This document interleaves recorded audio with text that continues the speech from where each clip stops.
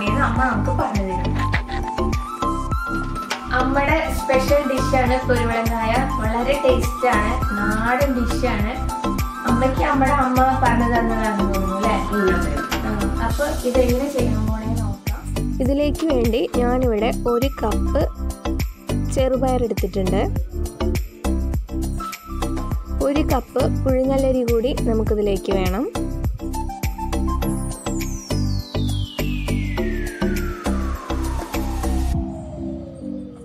മധുരത്തിന് ആവശ്യത്തിന് ശർക്കര കുറച്ചൊരു മധുരം വേണം. ഓവറാവാനും പാടില്ല.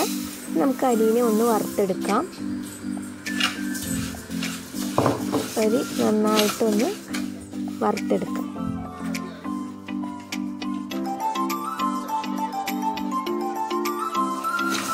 അരിയൊക്കെ നന്നായി ഗോൾഡൻ ബ്രൗൺ കളറായിട്ട് വന്നിട്ടുണ്ട്.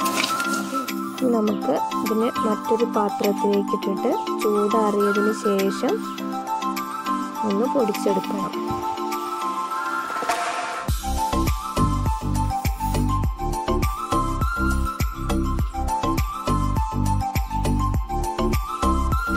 ഈ പാത്രത്തിൽ ചൂടാറം വെച്ചിട്ടുണ്ട്. ഇനി നമുക്ക് ചെറുപയർ കൂടി ഇങ്ങനെയൊന്ന് വറുത്തെടുക്കാം.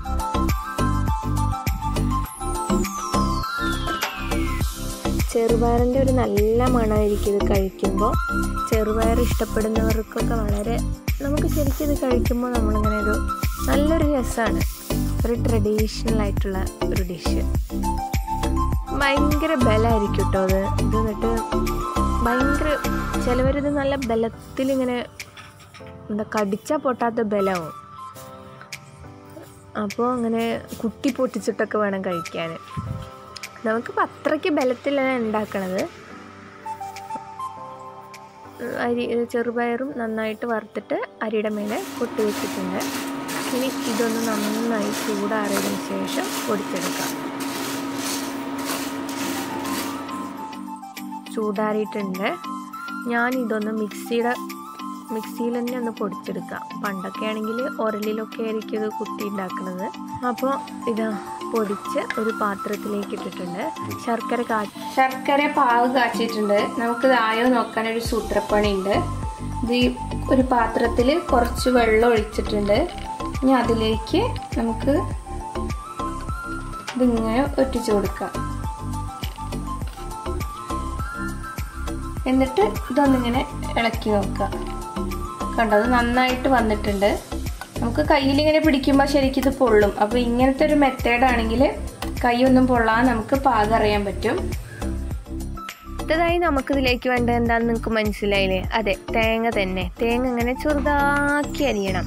ഈ തേങ്ങ ഇങ്ങനെ ഇതിന്റെ ഇടയിൽ ഇങ്ങനെ കടിക്കുമ്പോൾ നല്ലൊരു ടേസ്റ്റാണ് കേട്ടോ അപ്പോൾ നിങ്ങൾക്ക് ഇഷ്ടത്തിനനുസരിച്ച് ഇതിലേക്ക് തേങ്ങ ചേർക്കാം.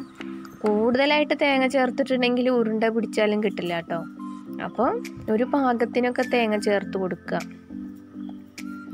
ഞാനിത് അത്ര തേങ്ങ ഇതിൽ ചെറുതായിട്ട് അരിഞ്ഞ് വെച്ചിട്ടുണ്ട്. ഇനി ഇതിലേക്ക് ശർക്കര ചേർത്ത് കൊടുക്കുക. നേരത്തെ കാച്ചി വെച്ച ശർക്കരയാണ്. നേരത്തെ ഞാൻ പറഞ്ഞു തന്ന ട്രിക്ക് നിങ്ങളെല്ലാവരും ഒന്ന് ട്രൈ ചെയ്ത് നോക്കാം കുറച്ചുകൂടി നമുക്കിതിലേക്ക് മാറ്റി വെക്കാം.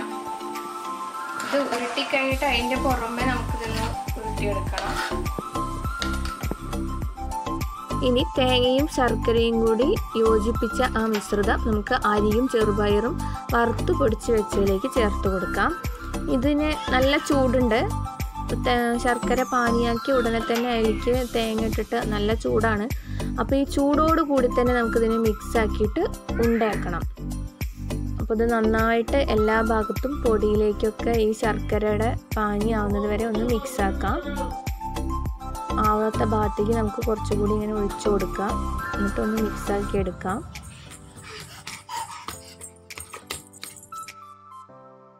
അങ്ങനെ എല്ലാം നന്നായിട്ട് മിക്സായി വന്നിട്ടുണ്ട്. ഇനി നമുക്ക് ചൂടോട് കൂടെ തന്നെ ഒന്ന് ഉണ്ടയാക്കി എടുക്കാം നല്ല ചൂടാണ്. ചൂടോടുകൂടി ഉണ്ടയാക്കിയാലേ നല്ലൊരു ബലത്തിൽ നിൽക്കുള്ളൂ. നമ്മൾ അത്ര ബലത്തിലല്ല ശർക്കരയൊക്കെ അത്രയും കൂടുതൽ ഒഴിച്ചിട്ടില്ല. കുറച്ച് ശർക്കരയാണ് ഒഴിച്ചിട്ടുള്ളൂ. ഇനി നമുക്ക് ഇതിങ്ങനെ പൊടിയിലിട്ടിട്ട് ഒന്നിങ്ങനെ ഉരുട്ടിയെടുക്കാം. ഇങ്ങനെയാണ് പൊരുവിളങ്കായ ഉണ്ടാവുക. നമുക്കെല്ലാം ഇങ്ങനെ ചെയ്തെടുക്കാം.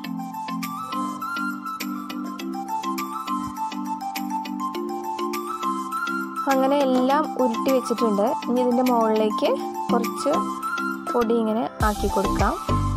ഇത് കുറേ ദിവസം നമുക്ക് കേടുകൂടാതെ പുറത്ത് തന്നെ ഒരു ഡബയിലാക്കി അടച്ചു വെച്ചാൽ ഇരിക്കാവുന്നത് ഒരു പലഹാരമാണ്. അപ്പോൾ നിങ്ങൾ ഇതുവരെ ഇത് കഴിച്ചിട്ടില്ലെങ്കിൽ ഒന്ന് ട്രൈ ചെയ്ത് നോക്കുക. നമ്മളിവിടെയൊക്കെ അതൊരു നാടൻ പലഹാരമാണ്.